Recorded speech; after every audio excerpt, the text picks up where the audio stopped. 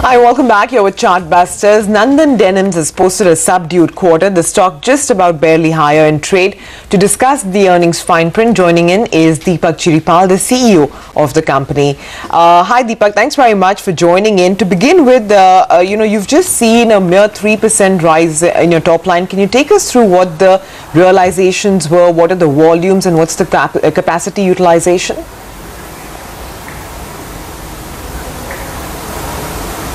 Yeah, hi, good morning. Uh, In the last uh, quarter, I would say, yes, you are right, absolutely.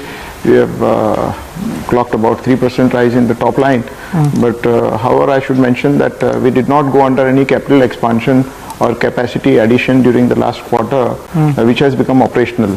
So however, uh, the company has undergone a 612 crore expansion plan, which is uh, just uh, on the last verge of uh, completion. So I believe uh, by month of uh, December we should have it operational. So the real impact of uh, the expansion will be seen Yeah. only in the last quarter of this year and uh, the quarters to come ahead. All right, uh, Deepak, that point is So well as far as the taken. companies uh, and the market is concerned, I think, yeah. Deepak, I just Yeah, wanted to so get, you know, there's a 3%